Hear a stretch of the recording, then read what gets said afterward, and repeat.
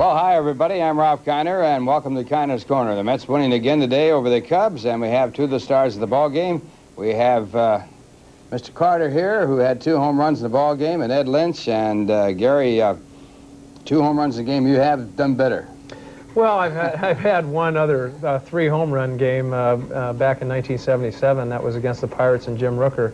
Uh, but the fact that we won the ball game, that's the most important. It doesn't matter how many home runs you hit or, or what you do, is just as long as you win the ball game. Well, Ed Lynch, the winner in the ball game, Ed now with a record of 10 and 5. 150 innings pitched so far. We're in almost the middle of August.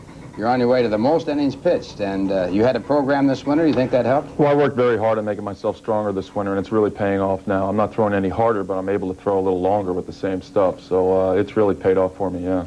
Well, longer, six complete games. Uh, you only had one coming into this year, so you, you really are throwing longer. Uh, yeah, I guess I am.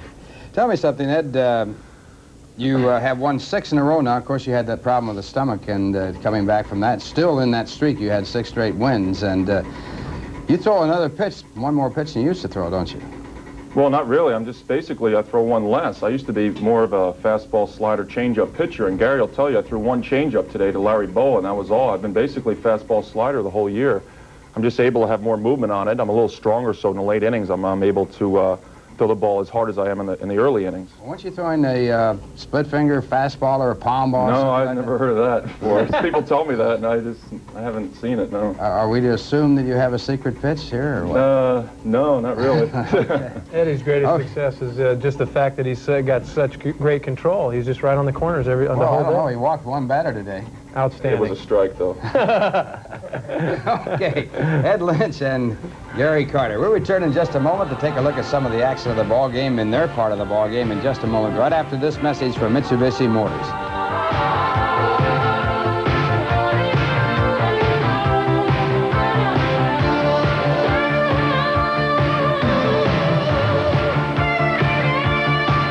Humidity out here, and Ed Lynch pitched a long ball game, although it was fast. And Ed, uh, you got to be tired. I am a little bit. Uh, I think their pitchers have to be a little more tired because they spent a lot more time on the mound than I did. I only walked one batter. I, I couldn't have thrown that many pitches, but uh, it was very hot and very humid out there today. Let's take a look at some of the action. In the top of the first inning, the leadoff batter, Bob Dernier. Right here, you get your only strikeout of the ball game. Go to the curveball here. Well, it was a slider. Uh, Gary called it, and I wanted to throw it, and I know he's trying to pull the ball, and I just was able to put it in a good spot. And he's, he's looking fastball in that situation. I think the count was two and two, and, or something like that. I know I had two balls on him. He's looking to pull something on the inner half of the plate, and I was able to throw the ball low and away. Now, a key play coming up here. Moreland, the batter, he tops it out to first. When you're running for this ball, did you think of the collision with her? It was with, uh, almost Hernandez? the same exact situation as Chicago. I uh, I threw a slider low and away. He topped it down there. I looked for Keith, and uh, he wasn't there this time. I think he decided to get out of the way of the Well, you freight had train something coming to over. talk about right after that. Here's the final out of the ball game, and Hebner hits it down to Keith Hernandez. Another good play by Keith. Mex is always in the right spot. And uh, I kind of had a little slip when I went over there, but uh, I knew that was the ball game right there. As soon as Keith caught it, I knew I had plenty of time to get over there. It was uh, very satisfying to go nine innings. Back to Keith Moreland and uh, that play where you had the collision in Chicago. Now the same thing happening. What did Keith say to you when he came off? Uh, he said there was no way he was going to get in the way of me again because he knew I'd be over there, and uh, I can think he felt it last time when I hit him for about three days. So I think he just kind of was on the outfield grass when I caught it. That was the interesting part of that play. Well, Ed, I know you got to go in and talk to the reporters. We'll let you go right now and keep uh, Gary here because we're going to have a little bit of action on Gary Carter. Fine victory. Thank you, Ralph. 10 and 5 for Ed Lynch and uh, on his way to his best year ever in the major leagues, coming through when the Mets really needed help in the early part of the year and staying there when they have moved in the first place ahead of the St. Louis Cardinals by one full game. And uh, Gary, you had you really had a great uh, day out here. Let's take a look at some of your action. Here's the bottom of the first. You come up with Dykstra on base, and uh, this pitch uh, you just muscled this one out. Well, I, I hit the, the pitch a little bit on the end of the bat, and I didn't think it had enough to get out. But uh, most of the guys were saying that uh, they thought it was going to get out of here. And as it did, it just hit below the Newsday sign. And hey, I'll take it. No matter how it comes, I'll take it. Well, that's your home run that put the Mets up by a score of two to nothing. The pitcher was Bo Tello, and of course, uh, he had given up two home runs to Darryl Strawberry in Chicago in his first National League appearance. Now in the second, you get him for that one.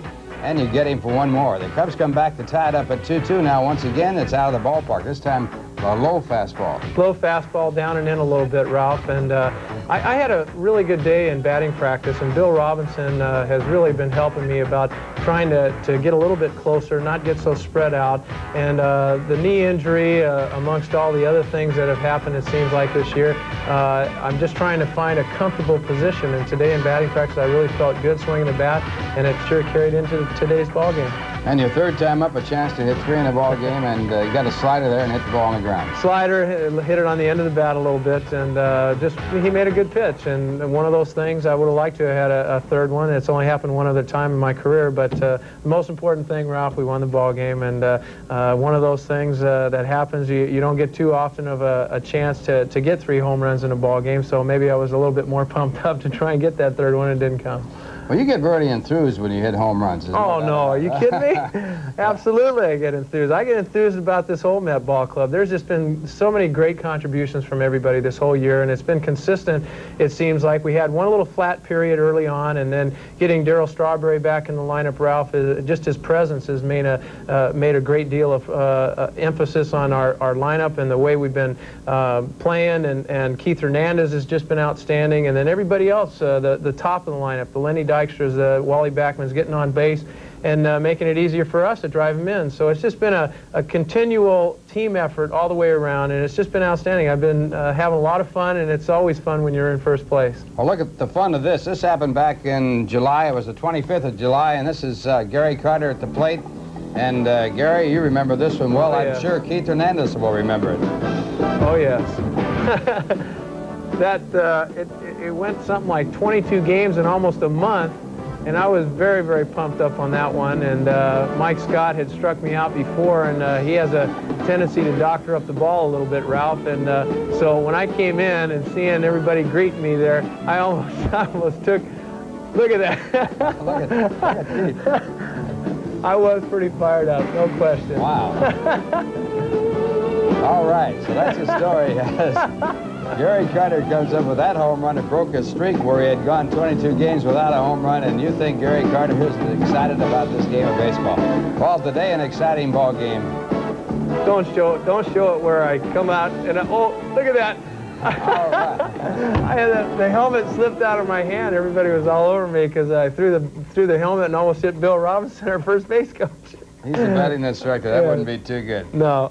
Well, Gary, that's a, that was a great game today and a great win over the uh, Chicago Cubs. The Mets now have sort of almost, I wouldn't say it's for sure, but the Cubs are in deep trouble. They're not buried, but they're, the, the, the hole has been dug. I think so. We've played very, very good ball against them this year, Ralph. Uh, we've beat them seven times here in our own home ballpark. We've also beat them uh, four times in their ballpark, so they've got to be a little down right now. And a lot of it has to do with the fact that they've had a lot of injuries uh, with Rick Sutcliffe and Steve Trout out of their uh, pitching rotation amongst uh, some of the other injuries with Gary Matthews out for a period of time, Bob Dernier, and uh, Ron Cey has uh, been struggling a little bit this year, and also Bull Durham having some injuries, and Jody Davis a little bit. So they, are not out of it by any means, but I like to feel that we've got a, a much better chance. The Cardinals are going to be tough down the, the stretch run, and uh, Montreal's been hanging tough as well. So we got our work cut out for us, Ralph, but we can't worry about anybody else. We just got to go out there and just continue to play the kind of baseball we've been playing lately. Just like the game today. Gary, thank you very much. Okay, Ralph, thank you. All right, Appreciate we'll be back okay. uh,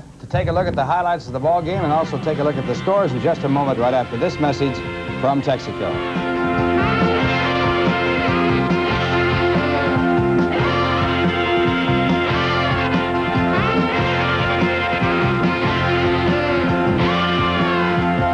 Fifth, uh, make that bottom of the first inning. It's Gary Carter right here batting against the starting pitcher, Botelho, and this ball hit right off the top of the wall and back of the home run fence, and Carter has a home run. Dykstra was on base with a walk and a stolen base, so he scores from second. The Mets are leading by a score of two to nothing. In the top of the third, the Cubs come back. On the mound is Ed Lynch, and right there, Sandberg hits one down the left field line. George Foster goes over, gets too close to it. It bounces on by him, and Sandberg comes up with a two-base hit. And scoring on the play is Bob Dernier as Sandberg goes to third on the air. So it is now a 2-1 ball game. Matthews follows Sandberg, and Matthews hits this line drive single, and it scores Sandberg from third base. It's now tied up at 2-2. But in the bottom of the third, it's Gary Carter once again. Carter coming up in a situation in the bottom of the third inning. Wally Backman was on base. He had singled, and Carter takes it over the left field fence, and the Mets now lead by a score of four, four to two. Backman scoring from first. In the bottom of the sixth inning, as you look at Gary Carter easing in and the crowd of around 45,000 applauding the play, Mets leading by a score of four to two. Howard Johnson bats, and Howard hits a high chopper over the first baseman's head.